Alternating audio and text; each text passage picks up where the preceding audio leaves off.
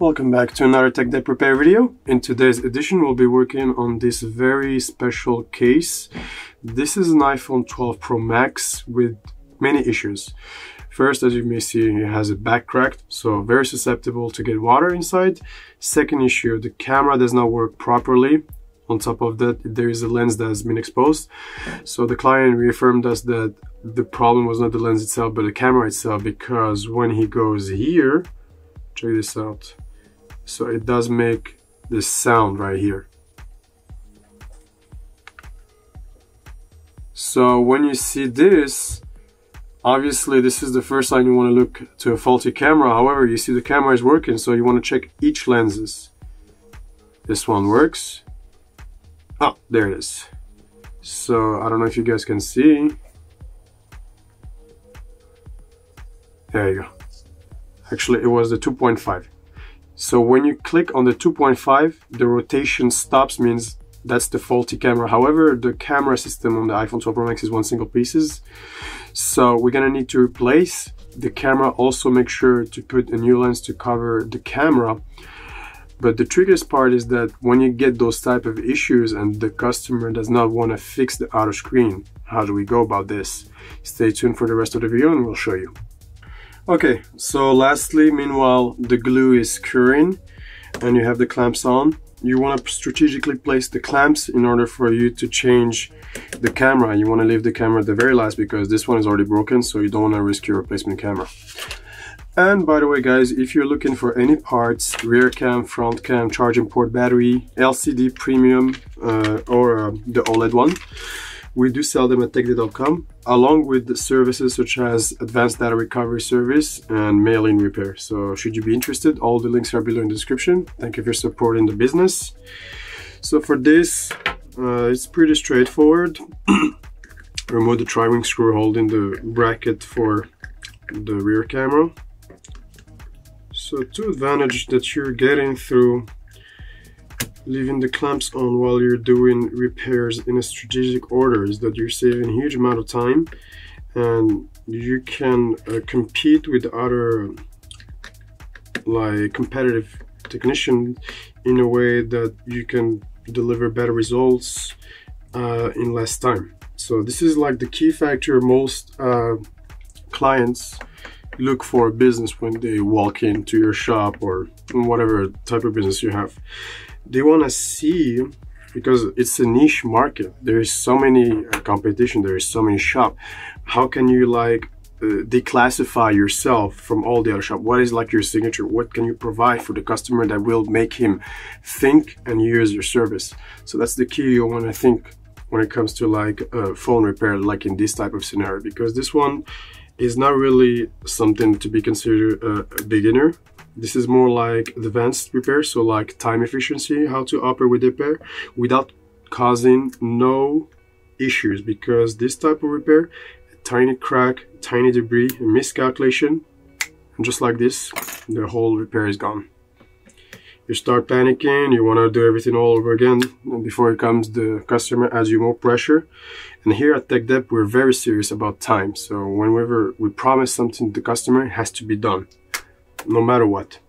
Unless it's for like a diagnostic where we cannot promise the moon, but we could promise like a certain type of real reality and expectation. So we would never like try to sway the customer in a way that he would feel, oh, like this guy for sure they're gonna push a button and gonna fix it. No, that is not the goal. It's we do not want to try to look how many problems the thing has is how many ways can we fix it so once it's connected, boom, keep in mind, battery has to stay disconnected. So, okay, naturally now, we want to make sure it sits. I'm gonna put back the metal bracket, like a tiny hinge right here. You want to make sure it goes a little bit under. Yep, there we go. This one has to go under. So that's how you know like you have the right spot. Uh, this is very useful. It's called ESD stand uh, phone support. ESD start for electrostatic discharge. So just to make sure like while you're operating on the device, you're not gonna short-circuit any uh, little components from the motherboard such as capacitor, transistor. Those are very easy to short like with the slight metal connection, it's conduit. Uh, could like lead to like parts of the board being shorted out. So you want to be careful when it comes to this. Although like this type of issues arise more from like the last generation of iPhones, such as the 7, 7 Plus, I don't know if you guys remember back in the old day, uh, there was this thing called iPhone backlight.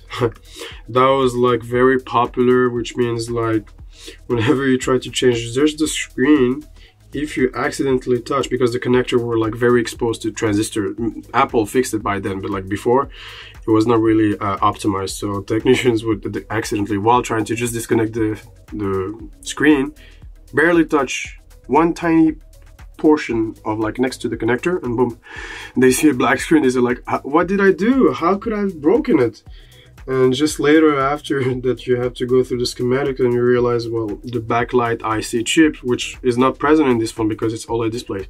But back in the old days they used the chip to regulate the lighting of the LCD so like there was kind of like a button inside the phone that controls the screen. So it was a little bit backwards but it's just the concept. And yeah, it's always good to be like, you know, better safe than sorry. That's the term. All right, so once this is connected, we're just gonna start by removing the clamps.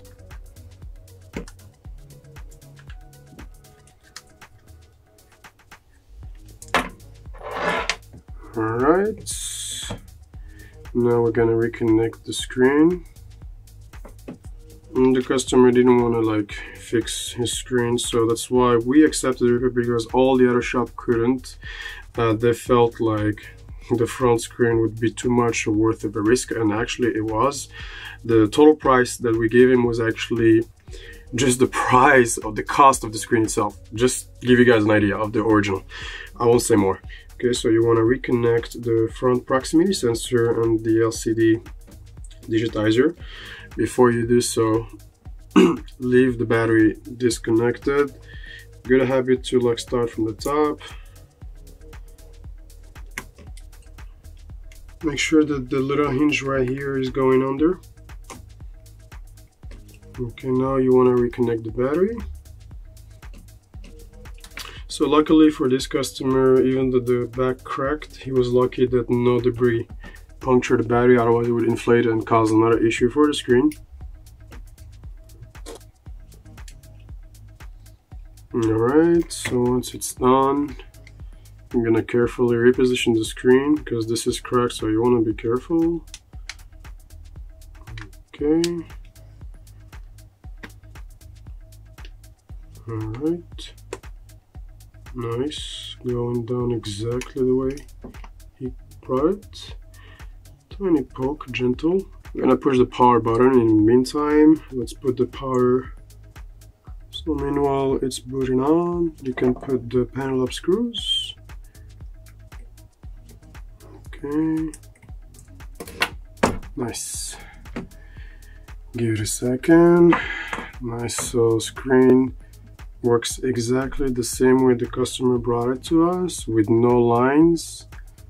And make sure you guys can see it's perfect. Alright, so we can see